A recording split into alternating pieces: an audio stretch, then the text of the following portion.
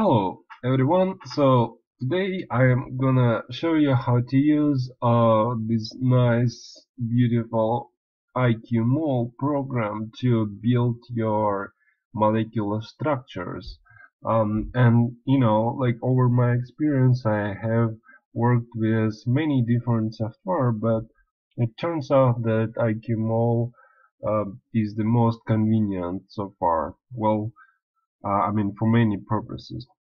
So well actually let's let's actually go to some practical um, exercises. So I'm what I'm gonna build today is this uh, body BDP dyad 2 this molecule here. Mm, okay so what uh, uh let's uh, first start with you know very brief uh, overview of what you have here well this is the set of you know buttons for building molecules. This is set of buttons for selection and uh, you know de deletion of molecules or fragments and this hand tool is for manipulation so you can rotate and translate. Uh, so let me start first by uh, well now uh, the most convenient thing to start is with this add fragment in build uh, uh, group uh, of buttons. So uh, here you have actually three options. Functional groups like when you select something like methyl you have something like that.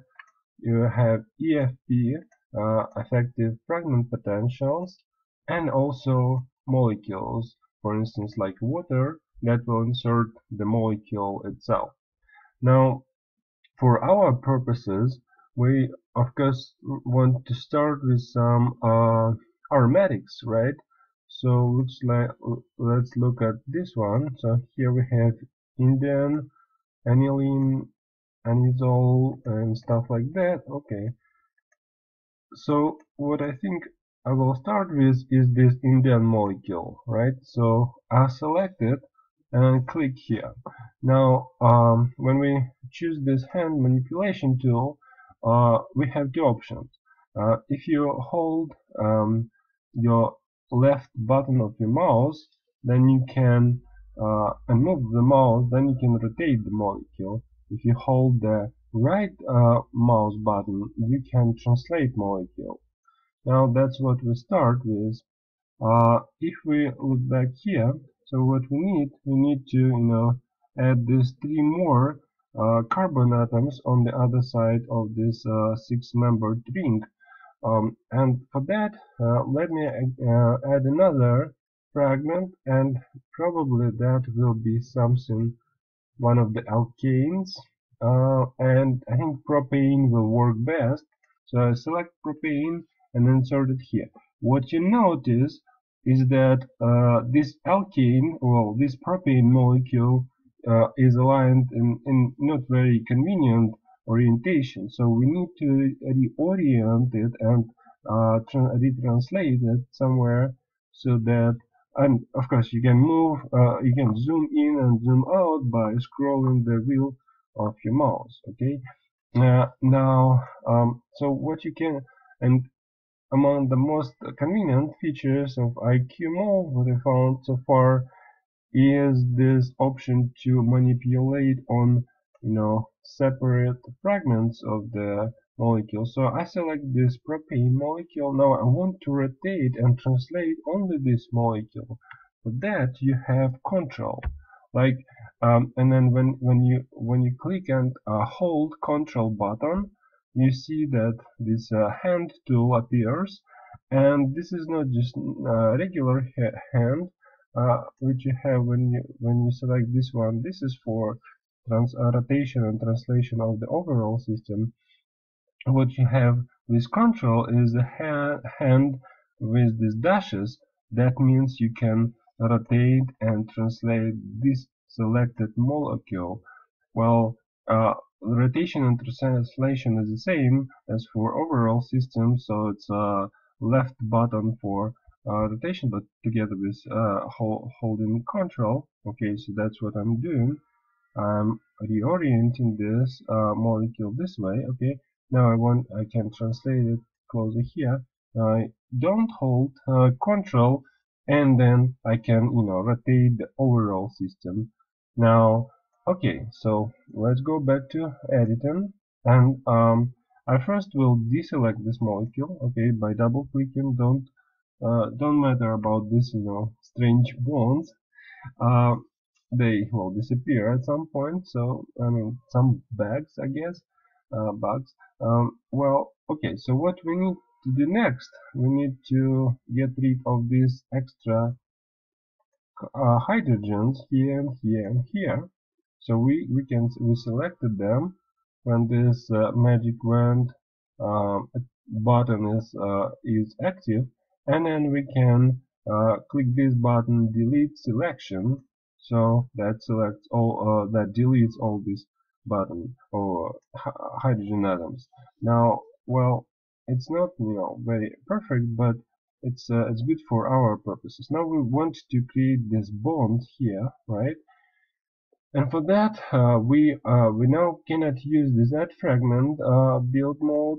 We need to choose the atom um, and it really doesn't matter which atom you choose. For instance if you choose hydrogen um, you can create carbon hydrogen bonds. Like when you click on the uh, with left uh, mouse button on the carbon and then you hold it and drag this molecule you create this uh, uh, you create this carbon hydrogen atom or bond. But if you continue and this hydrogen overlaps with uh, other carbon that you know turns out to be a carbon carbon bond. And then you release the left uh, button of your mouse so that uh, completes this uh, creation of the bond. The same we can do with this atom okay? Now we can we can uh, we can select this uh, whole fragment and move it a little bit closer here so it you know makes more sense. Now of course of course the uh, the resulting uh, structure is not is not perfect. Uh, we of course need to um, uh, optimize it. Well, before that, actually, let's uh, let's delete one of uh, carbon uh, hydrogens, and then also let's create one of the double bonds here. So that can be done with uh, here. Well, not necessarily hydrogen. Okay, so here here here it is now for optimization you can go here to build and then uh, go to minimize structure. Um, you can prior to that you can select which force field, uh, empirical force field you want to use for the minimization or you can simply use this uh, you know uh, button uh, to uh, minimize uh, structure. So that's what we get eventually right? Um, well okay so this is not totally planar but that's fine. Well we have this you know fragment first we need to do some more modification. Okay. Well we first we need to add these nitrogen groups. And for that we will choose nitrogen atom here and then click here and here.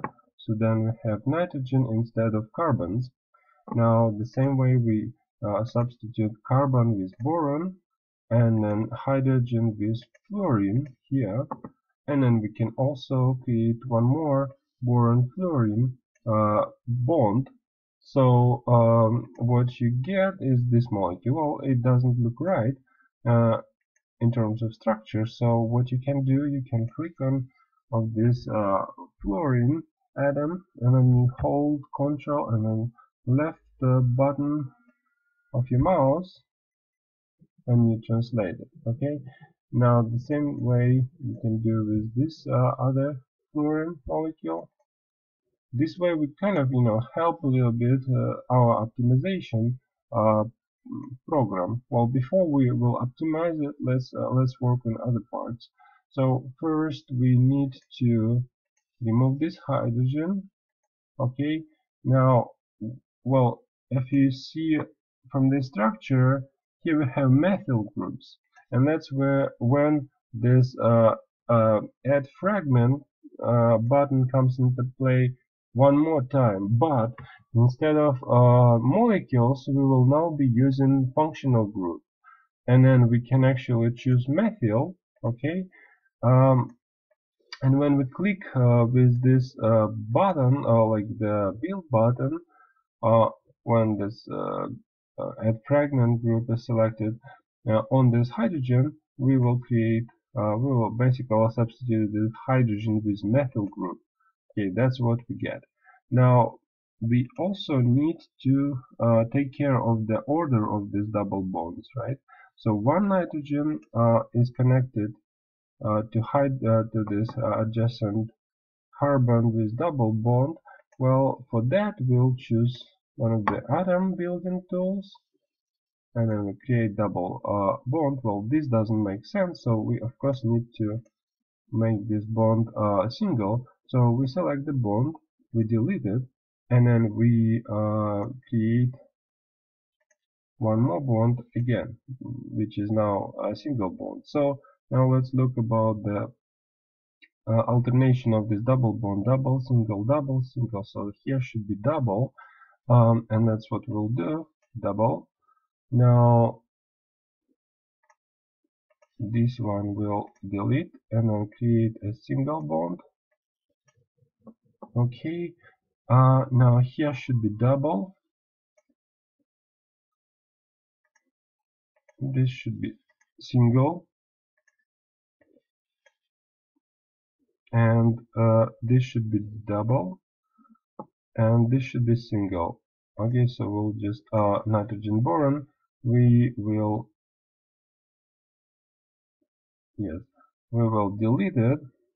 And then create one more. Okay so now we have more or less reasonable alternation pattern of our double and single bonds and with that we can optimize structure one more time. Okay now it's done. Okay so what we basically need to finish uh, this uh, tutorial with is creating another uh, copy of this molecule and then connecting it to itself so we have done quite a, a, lot of work and we don't want to repeat every step uh, like step by step. So instead we will just uh, select the old molecule uh, and then uh, we here we can do copy. Now we do we deselect the molecule and then we say paste.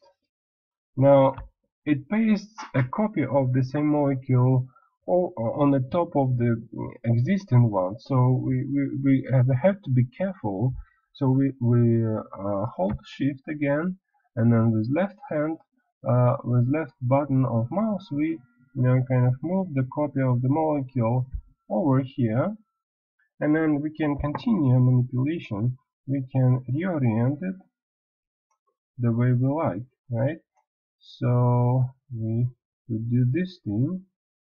Now if we select here we can rotate the overall molecule. We see well there is no uh, a little bit offset so we can translate the molecule a little bit.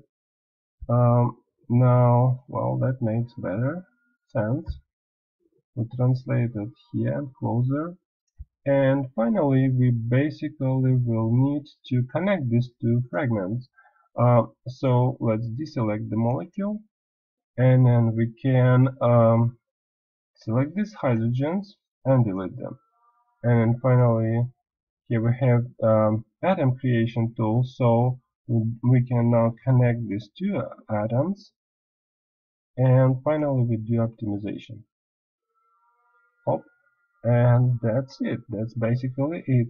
So we have uh, constructed our model uh, body P2 uh, in just about 15 minutes. Um, and that concludes our tutorial. Thank you for watching